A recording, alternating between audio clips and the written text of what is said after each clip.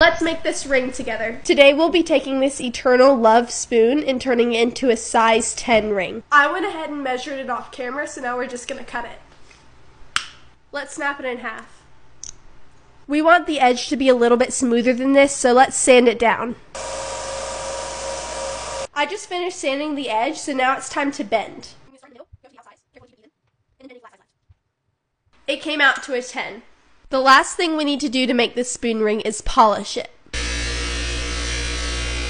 Here's the final product. I think that this spoon turned into a really beautiful ring. Thanks so much for watching. If you'd like a ring like that for yourself, the link is in our bio.